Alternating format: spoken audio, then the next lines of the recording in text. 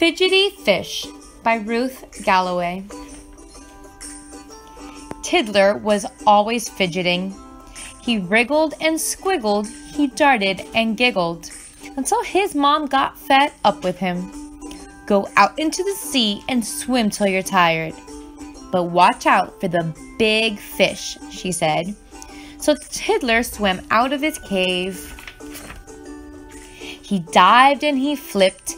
He leaped and he dipped. He sped faster than a rocket and glided gently like a swan, letting the sea currents fan his fins.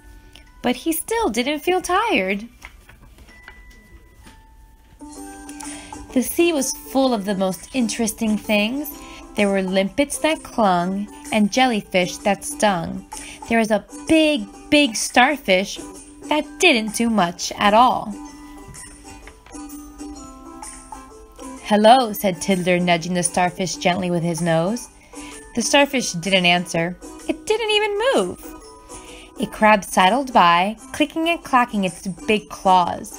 Tiddler wanted to play with it, but the crab scuttled off and disappeared into the seaweed. Tiddler came to a big, dark cave. It looked much more exciting than his cave back home, and Tiddler swam in. Snap! Everything went dark. Tiddler was trapped inside the big fish. He trembled and shivered. He shook and he quivered. Until the big fish's tummy began to feel, feel very funny indeed.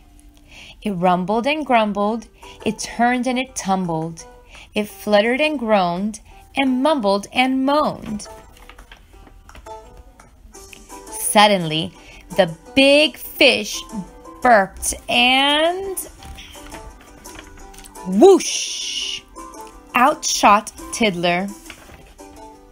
He shot past the jellyfish and the clickety crab hiding in the weeds, past the starfish, and straight through his own front door.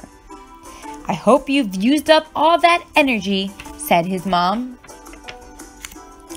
but she would have to wait until the morning to hear about his adventures because Tiddler was already fast asleep.